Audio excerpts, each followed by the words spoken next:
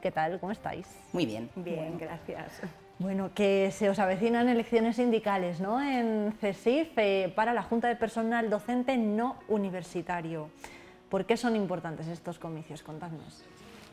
Bueno, pues porque se celebran una vez cada cuatro años. Eh, de los votos que se obtengan ese día saldrá la representación de delegados en cada sindicato, es decir, los, que, los delegados que podemos tener en centros de nexo para poder atender a, todo, a todo el profesorado. Entonces, es importante de cara a que, a que la gente esté, esté atendida, esté informada, eh, podamos podamos luchar por sus condiciones laborales. Quiero decir que son, es un cúmulo de cosas que yo creo que los docentes no se dan cuenta porque muchos no, votan y por eso les animamos desde aquí a que, a que vayan, a que hagan su voto y, con ello pues eso, participen en, en, este proceso que es cada cuatro años, como digo. Porque ¿cuántos docentes se van a ver representados en vuestro sindicato entonces? O sea, Actualmente el censo que hay aquí en la provincia de Soria son aproximadamente unos 1.500 docentes que están llamados a la urna. Eh, afiliados que podamos tener ahora mismo pues rondan alrededor de los 280, por ahí estamos. Em, ¿Qué es lo que se va, que decíais antes, que, em, bueno, que hay mucha gente, lo estabas mencionando tú, eh, María, em, que hay muchas cosas que, que no se saben, que los docentes a lo mejor pues, no se dan cuenta? De, todo lo que se puede ir consiguiendo. Claro, realmente eh, las votaciones es para elegir eh, la organización sindical que represente eh, a Soria. ¿no? Entonces, la Junta de Personal es el órgano donde están representados todos los sindicatos de Soria, donde se lucha por temas de los profesores de Soria. Entonces, claro, el trabajo que, nos supone a nosotras es el día a día, la atención en sede, la información a, todo el profesorado y la lucha constante eh, pues, en, diversos, en diversos medios. Quiero decir que estamos en mesas de negociación, que luchamos por, un montón de, condiciones laborales y sociolaborales de los compañeros y entonces es importante que cuenten con nosotros, que, nos apoyen y, y por ello necesitamos necesitamos, necesitamos que vayan a votar. ¿Y por qué, no, decís que la gente no se anima a votar a lo mejor? Porque da, ¿Cómo hay que hacerlo, por ejemplo? ¿Se puede, votar, puede votar cada profe o cada profesor en su centro? ¿Se tiene que desplazar? ¿Eso cómo funciona? Los centros de aquí de Soria tienen que ir a votar a Cefie, a la calle Caro. Entonces, eh, los centros de pueblos, por ejemplo, en Arcos, Almazán, la zona de Pinares, hay unas urnas móviles que se llaman, entonces van pasando por los diferentes pueblos en diferentes horarios y facilitamos también que los docentes puedan acudir a las urnas, no tengan que hacer un desplazamiento igual tan grande. Entonces hay diferentes opciones. Después, en las urnas itinerantes que se llaman, terminan a mediodía. Y a partir de las 4 de la tarde pueden ir a votar aquí a Soria, también a CEFIE. Intentamos facilitar al máximo que el acceso de los docentes a... Sí, que se les lleva la urna hasta su centro, es decir, que hay cuatro rutas y, si por un casual no han podido votar en, el momento que ha llegado la, urna, tiene la opción de hasta las 7 de la tarde venir aquí al CEFI, al Centro de Profesores de Soria, para poder eh, echar su voto.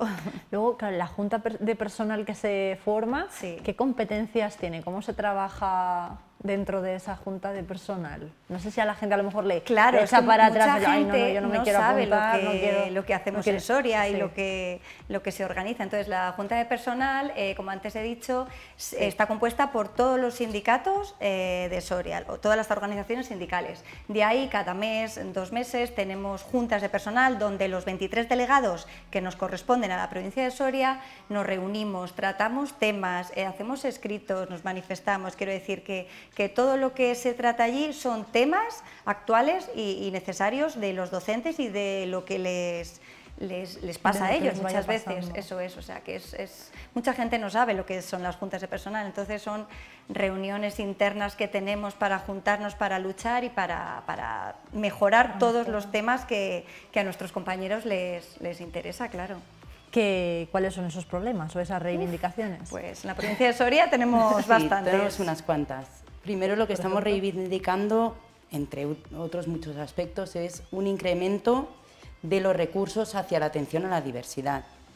Después, también estamos luchando porque aumente el precio del kilometraje. Actualmente se está cobrando a 0,19, contando cómo está la gasolina ahora mismo, es un precio bastante reducido. Eh, también lo que queremos es un pacto de estatuto docente. No puede ser que en diferentes comunidades el salario sea distinto. Estamos hablando de unas diferencias bastante elevadas de precio. Eh, la tasa de interinidad. Yo creo que en, la en Castilla y León en general es muy alta. En Soria hay que decir que tenemos casi un 40% que más de 500 docentes son interinos aquí en Soria. Entonces sabemos la situación de Soria, sabemos los problemas que tiene, pero la interinidad es muy alta en nuestra provincia. ¿Cómo se soluciona eso? Eh, claro, pues realmente eh, es haciendo una buena oferta de empleo público, es decir, un montón de, plazas que la gente puede optar a ellas y así eh, dejar un poco la plantilla estable, porque esto afecta a toda la comunidad educativa. Sí. los centros rurales y su número de plazas habitualmente, bueno, estamos casi cansados ¿no? de oír en las noticias que las plazas, ciertas plazas no se pueden cubrir porque no, porque no interesa, porque no vienen profes o porque eso también es un problema, sí. Eh, Tamara. Sí que es un problema, sí, porque al fin y al cabo siempre acaba repercutiendo en la educación.